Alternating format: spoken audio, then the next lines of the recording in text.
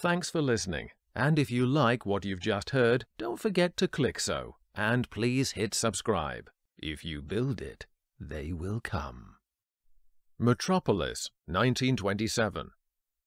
By the mid 1920s, the boom time for German cinema internationally due to strong inflation was over, meaning that the Universum Film AG, UFA studio, where such classic films as The Cabinet of Dr. Caligari, Dr. Mabuse, and Faust were shot, had to enter into a partnership with Hollywood to survive. The Parufamet agreement was an agreement between UFA, Paramount, and Goldwyn Mayer, not yet merged with Louis B. Mayer to become MGM.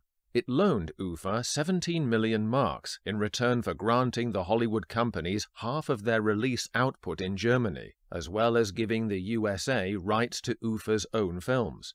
Around this time, Fritz Lang and his wife, Thea von Harbou, wrote the script for Metropolis whilst on holiday in June 1924. They then sailed on a sightseeing and fact-finding trip to New York, where Lang and producer Eric Pommer bought highly prized Mitchell cameras for the filming and studied Hollywood special effects, while architect Eric Mendelsohn photographed the New York skyscrapers. These would inspire his stunning high-rise buildings for the film and later a book of the photos called America. Metropolis began filming in May 1925 with 310 shooting days scheduled. The budget was to overrun from 1.5 million marks to 6 million in bringing a hugely ambitious epic vision to the screen.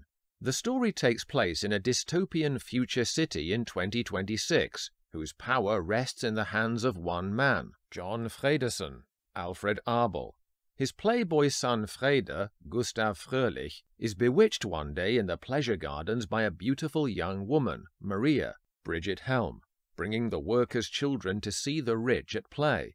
He is utterly smitten by her, and on pursuing her, sees for the first time the horror of the workers' conditions, and witnesses the death of an exhausted operative at the terrifying central heart machine. He is stricken by a new conscience that will not permit him to allow their slavery to endure.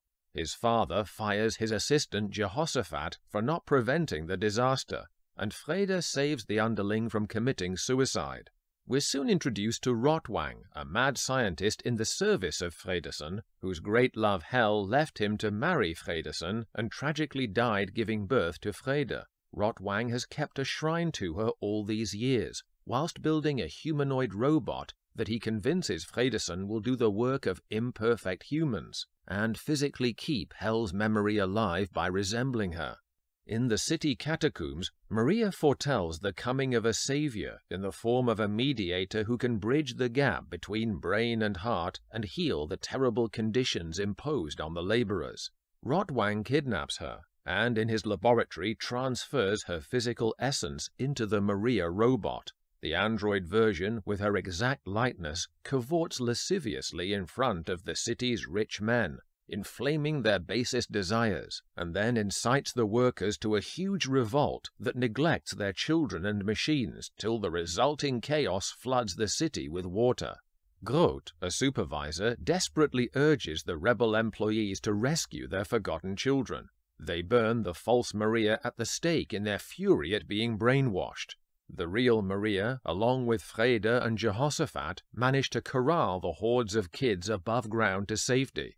Rotwang and Freder fight atop the cathedral as Groth once again appeals to the crowd not to harm Fredersen, who watches in terror. Rotwang falls to his death, and it remains for Freder to assume the role he was destined for, to link the seemingly unbridgeable divide between worker and employee, the brain and the heart.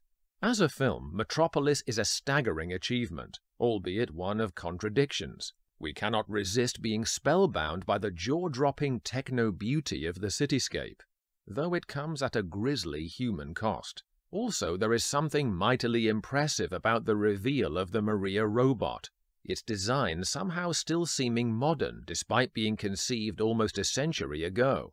I also find the fully human transplanted version of Maria powerfully erotic and persuasive, from her suggestively cocked eyebrow to her maniacal unbridled lust for storming the barricades and causing mayhem, due to Brigitte Helm's thrillingly alive performance. She effortlessly switches from this to the beguilingly sweet and gorgeous real incarnation. At the same time, Lang and von Harbou draw parallels between techno fear of the malevolent power of industry and a harking back to medieval methods of solving the problems of life. The Moloch, the heart machine, and the lascivious gyrating of Maria in humanistic robot state herald a biblical return to Babylon and the coming apocalypse. Rotwang, a gleeful, expressionist, high-voltage, vivid characterization by Rudolf Klein-Rogge, is at the cutting edge of science, but resembles a Middle Ages blacksmith in his tunic. The android rebel leader is notably burned by the crowd just like a medieval witch at the stake. This may follow on from the subtle occult tease of the pentagram spotted above Maria as she is energized by the neon rings encircling her, as well as the discovery that initially the Tower of Babel was to have a pentagram-shaped flat roof. It's not always easy to tell which period we are meant to prefer, or which is the more dangerous. In its time, the film also sits on the cusp between being considered the last expressionist film and the first of the new objectivity era. That aside, Metropolis has always been secure as a source of influence on dystopian sci-fi and horror ever since its release. Klein-Rogge's Rotwang with his shock of white hair, electrifying emotive peaks, and not forgetting that perverse, glistening surgical glove on his right hand, has been the model for all mad scientists from Universal's Frankenstein films through Hammer and beyond. Incidentally, Lang sensitively balances his and Helm's heights of fervor against more restrained work by Fröhlich and Abel. The latter has a compellingly subtle sadness in his eyes throughout, no doubt marked by the loss of his wife before her own humanizing guidance on him was extinguished to the detriment of all. Have you seen a futuristic overhead monorail in a film? The design of Metropolis got there first. Credit for the astounding visuals must be shared. Stunning artwork and design elements for the city were prepared by Eric Kettelhut, some of which exist on screen as simply unfilmed paintings. The marvelous photography was by Karl Freund and Gunther Rittau, the former going on to a career as a director himself on Universal's The Mummy, Mad Love, and then later going on to become cinematographer for TV's immortal sitcom I Love Lucy the latter credited by Lang for his groundbreaking multiple exposure shots made in camera by continually shooting images, then rewinding the film and shooting again. There is also the technically innovative Schüfftan mirror trick method, named for Eugene Schüfftan, who enabled live action such as the strip line of trudging workers at the base of the city skyline to be seamlessly blended into a shot composed above them of painted skyscraper scenery. Another new tool used in filming Metropolis is the surprising material that created the body of the robot Maria, a flexible type of wood. On screen it is superbly disguised as metal. This was part of the striking sculpture work by Walter Schulze Mittendorff, who also created the macabre Grim Reaper and Seven Deadly Sins that come to chilling life in the climax. Let's not forget as well the prophetic video screen used by Fredersen at one point in the movie, since even television was in its absolute infancy then, such an invention had to be cleverly crafted by projecting the filmed portions of the conversation from behind onto Fredersen's screen and then phase connecting it to sync with his live responses in the scene. Highly visual filmmakers like Ridley Scott were clearly inspired by Metropolis. Whilst you could argue that the cyborg Maria is in essence a Blade Runner-style replicant, the strongest connection is with Scott's seminal TV commercial introducing the Apple home computer in a suitably Orwellian 1984, filmed that same year, populated with the familiar grey-overalled interchangeable drone-like workers mechanically trooping in to be fed a video screen of totalitarian hectoring. On the subject of the subjects, the choreography of the labourers in Fritz Lang's vision is more fuel to the flames of paradox. At the Heart Machine, it is eerily appealing in its dynamism, like a form of contemporary dance, as each man goes from a neutral A stance, then flits to one side or the other, building almost a Busby Berkeley composite dance number of slavery. And whilst it's easy to take issue with Giorgio Moroder's shortened version in 1984 with a pop soundtrack, it's understandable that it would inspire directors in the MTV video age. Certainly, the pain and tyranny of exhaustion is there in close up, as when Freder takes over from the worker at the clock face display, whose hands must constantly reconnect around the dial to keep electricity flowing. But even there, the framing of him recalls Da Vinci's spread-eagled Vitruvian man in its odd beauty of form. The evocative score by Gottfried Huppertz, who also wrote for Die Nibelungen, was composed using leitmotifs, themes attributed to characters or structures, for example the workers' theme, the machines, and the Tower of Babel itself.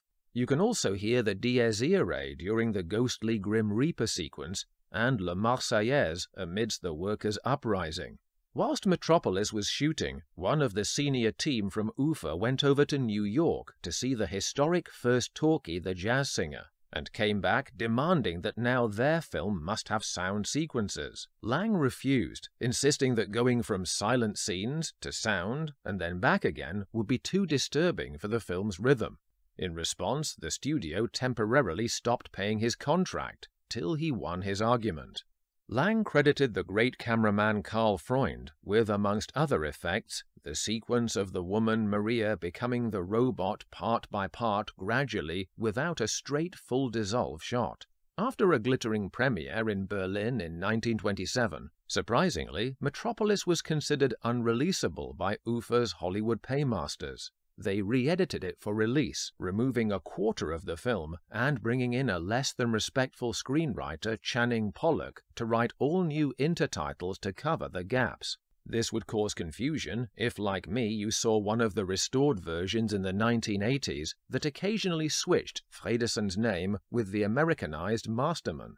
At the time of originally writing this review, I used the Buenos Aires 2008 edition, which still may be the most complete at two and a half hours. And although its intertitles were in German, and the added footage is of very rough quality, it's still a pleasure to see more added to the scenes, rather than extra scenes to be found. It's easy to see Rotwang's android creation and the dehumanizing state depicted in Metropolis as a foreshadowing of Hitler and his National Socialist Party's rise to monstrous power, much like Caligari and his somnambulist Cesare and Nosferatu elsewhere in his country's expressionist cinema. Yet Fritz Lang maintained that this was never a conscious aim.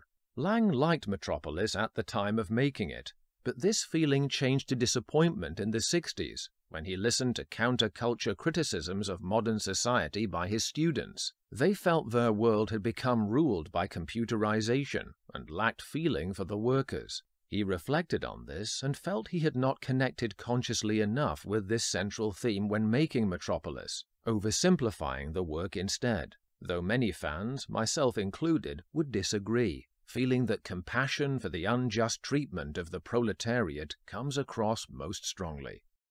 Thanks for listening, and if you like what you've just heard, don't forget to click so, and please hit subscribe. If you build it, they will come.